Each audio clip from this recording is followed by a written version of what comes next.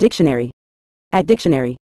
In a general sense, decrypt refers to the process of converting encrypted or coded information back into its original, understandable form.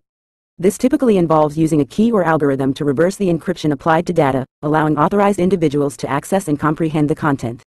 Decrypting is crucial in the realm of information security, as it enables users to recover sensitive or confidential data that has been safeguarded through encryption methods.